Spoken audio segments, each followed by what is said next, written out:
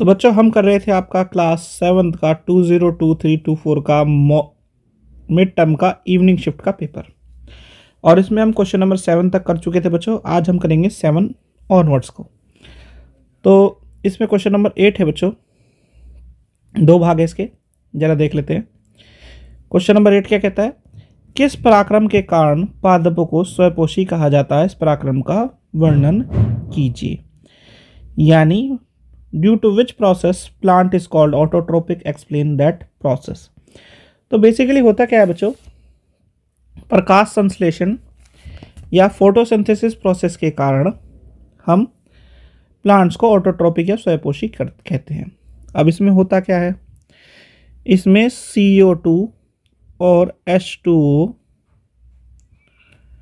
Sunlight और chlorophyll की presence में C six H twelve O six बनाते हैं ग्रीन लीव्स में और ऑक्सीजन गैस को छोड़ देते हैं, यानी कि इसको ग्लूकोज को बनाते हैं ऑक्सीजन गैस को बाहर निकाल देते हैं। इस प्रोसेस में बेसिकली यही चीज़ होती है, इसी को हम फोटोसिंथेसिस कह देते हैं बच्चों, या प्रकाश संश्लेषण कह देते हैं। फिर है आपका इसका अथवा वाला भाग, क्या आप इस बात से सहमत है कि सभी जीवों को भोजन की आवश्यकता होती है? क्यों? और क्यों नहीं? Do you agree that all living organism need food why और वाई नॉट तो बेसिकली बच्चों, जो पहले चीज़ बात आती है कि हम भोजन से हमें फ़ायदा क्या है? तो भोजन से क्या होता है बच्चों? हमारी जो न्यूट्रिशन रिक्वायरमेंट है बॉडी की, पोषक के तत्वों की जो रिक्वायरमेंट है बॉडी की, वो पूरी होती है और हमारी बॉडी को क्या मिलता है? अपनी बॉडी को एनर्जी मिलती है। उसके रख रखाव के लिए जो जो चीज़ें, जो न्यूट्रिएंट ज़रूरी होते हैं, वो मिलते हैं। और अगर कभी डैमेज हो जाए कुछ चीज़ हमारी बॉडी में तो उसे रिपेयरिंग करने की क्षमता भी इसी पोषक तत्व या किससे न्यूट्रिएंट्स की वजह से मिलती है या फ़ूड की वजह से मिलती है और हमारे लाइफ को कैरी आउट करने में ये हेल्प करता है। तो इसीलिए हमें क्या कहना पड़ेगा कि भोजन की आवश्यकता सभी लिविंग ऑर्गेनिज्म को है और ये ज़रूरी है उनके लिए बच्चों, ठीक है? चलिए आगे बढ़ते हैं बच्चों अब। क्वेश्चन नंबर नौ देख लेते हैं बच्चों। क्वेश्चन नंबर नौ है आपका। Define an electric fuse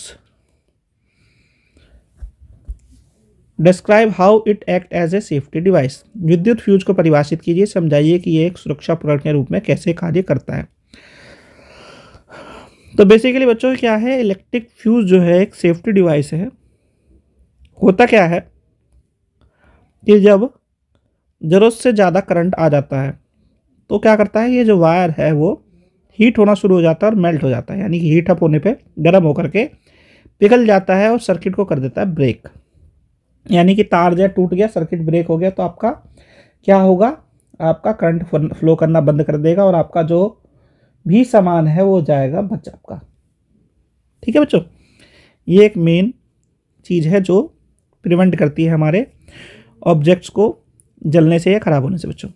फिर इसका अथवा वाला भाग बच्चों, विद्युत चुंबक के किन्हीं तीन उपयोग बताइए, यानी write any three uses of electromagnets तो सबसे पहली चीज़ बच्चों इलेक्ट्रोमैग्नेट का यूज़ कहाँ होता है?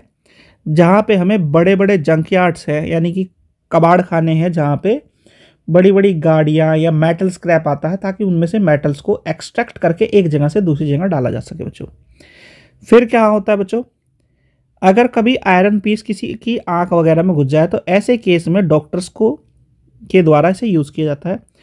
तीसरी चीज़ जो यूज़ होती है बच्चों, आपके टॉयज़ जो कुछ महँगे टॉयज़ होते हैं, उसमें इसका इस्तेमाल किया जाता है ताकि आप उन टॉयज़ से खेल सकें बच्चों। चलिए क्वेश्चन नंबर टेन देख लेते हैं बच्चों क्वेश्चन नंबर टेन है। यदि एक स्कूटर दो मीटर प्रति सेकंड से गति कर रहा है, तब एक मिनट में इसके द्वारा तय की गई दूरी ज्ञात कीजिए। Find out the distance covered by a scooter in one minute if it is travelling at a two metre per second तो बच्चों स्पीड क्या दी हुई है? चाल क्या दी हुई है? दो मीटर प्रति सेकंड। तो इससे हमें क्या पता चल रहा है बच्चों? दूरी या डिस्टेंस क्या हो जाएगी? एक सेकंड में दो मीटर। है ना? दो मीटर प्रति सेकंड, यानी दो मीटर वो एक सेकंड में चल रहा है। तो एक मिनट बराबर होता है कितने? साठ सेकंड का। तो डिस्टेंस जो ट्रैवल करेगा वो, यानी दूरी जो ट्रैवल करेगा कितनी? साठ सेकंड में तो वो होगी दो गुना साठ। तो ये आ गई 120 मीटर बच्चों। ठीक है? ये इसका बेसिक आंसर था। फिर है क्वेश्चन नंबर ग्यारह बच्चों। क्वेश्चन नंबर ग्यारह क्या कहता है? A pitcher plant does not get all required nutrients from the soil in which they grow. Describe how it obtain nutrients not available in soil. यानी घट पड़ने के पौधे को उस मिट्टी से सभी पोषक तत्व प्राप्त नहीं होते, जिसमें वह होता है। वर्णन कीजिए, फिर वह मिट्टी से अनुपलब्ध पोषक तत्वों को किस प्रकार प्राप्त करता है? तो बेसिकली बच्चों, उसमें अगर देखा जाए तो नाइट जो कुछ बेसिक रिक्वायरमेंट है, जैसे कि नाइट्रोजन हो गया फॉस्फोरस हो गया, इस तरह के कुछ न्यूट्रिएंट्स की उसको रिक्वायरमेंट होती है, जो उसे नहीं मिलती है, आप, जो सॉइल होती है उससे। तो इससे कहाँ से लेता है वो? इसे लेता है वो इंसेक्ट से। या आपके जो कीड़े होते हैं उनसे।